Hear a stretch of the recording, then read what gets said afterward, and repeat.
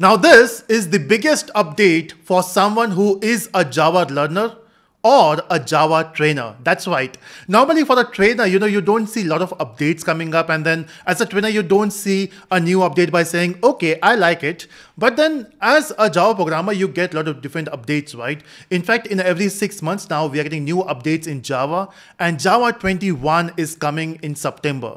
Now, what are the features in Java 21? There are multiple features, but then one feature which is very important for learners and for trainers, and that is this. When you want to teach or when you want to learn Java, what's the first code you write? In fact, it's it's true for any language, let's say C, C++, Python, JavaScript, doesn't matter. What you do is you write hello world.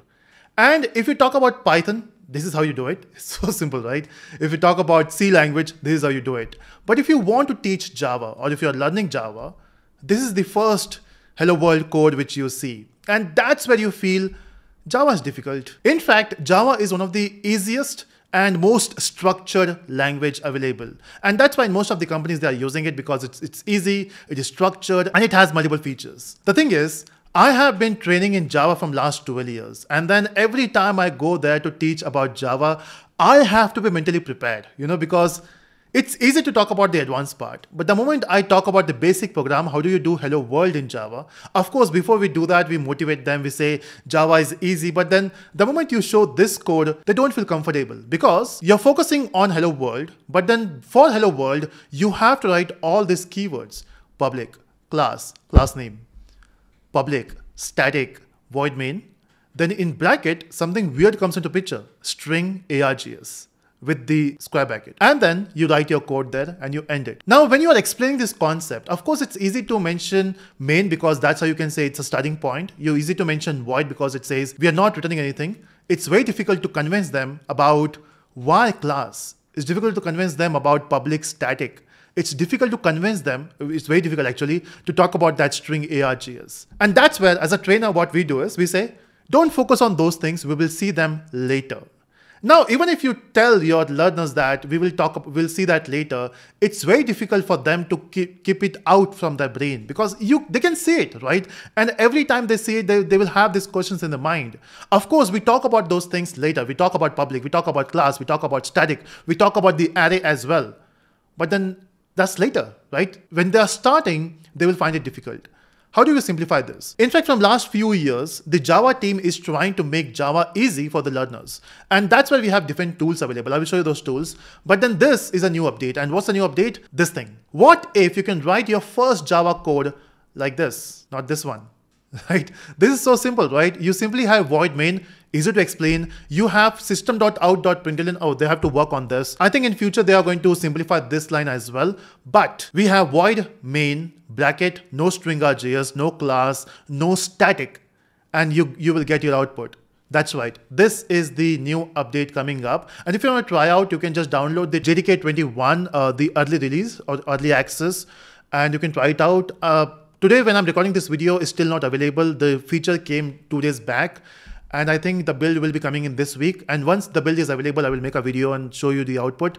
But the build is not available, but that is coming up. If you don't want to wait for the September, and if you want to try it now, you can try it after a few days. But this is the new update. And for learners and for trainers, now this becomes easy. It's not like when you're building a big project, you're going to use this syntax. No, this is only for learning purpose. This is only for training purpose. If you are learning for the first time, and if you want to make it easy, you can use this syntax. But if you want to make a big application, and that's where we have to follow the older syntax.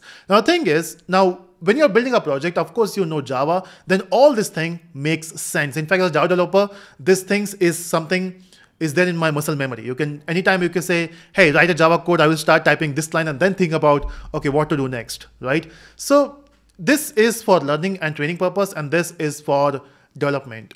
In fact, if you observe this, there's no class. And of course, right, Java is object oriented. So where is the class? What's a class name? So that's where they have introduced unnamed class and uh, instance main method because there's no static keyword there.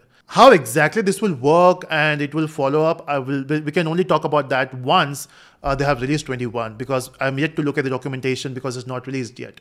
So that's one. Now, as I mentioned, this is not the first time Java is doing any major update, right? In fact, they did that before as well. Example, let's say in Python, if you want to print hello world, you simply write print hello world, right? It works. In fact, in Java as well, uh, they have introduced something called JShell in the earlier versions. And using JShell, if you want to print one line, you can simply say system.out.println. Or if you want to create a variable, you can say int i equal to 9. You got your variable there, right? So it's not like Java team is not trying to make Java easy. Yeah, to start with, okay? It's an easy language once you learn the concepts. But then to start with, sometimes people find it, find it difficult.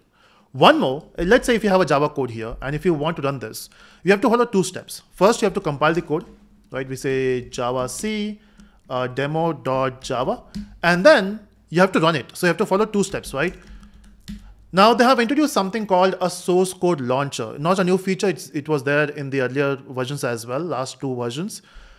But now what you can do is you can say Java and you can mention the file name. Now this only works with single file, that doesn't work with multiple files. But as a learner, when you are learning the language for the first time, you don't have to write two steps. Write one step, mention Java and the file name, and it works. Okay, so this is the new update. And let me know in the comment section your thoughts on this new update. And I've checked it with some people. A few people are happy with this. Few people are saying, okay, it was okay. You know, we, when we talk about uh, the this syntax here, and uh, when we say, okay, we'll look, we'll look at static later and we'll look at class later, they feel that students are happy with it, but I don't. You know, it's very difficult to convince people to ignore something if it is there in front of you. So that's it from this video. I hope you enjoyed. Make sure that you share this video with your friends who wants to know about this update and uh, do comment your thoughts and subscribe for the upcoming videos. Bye-bye.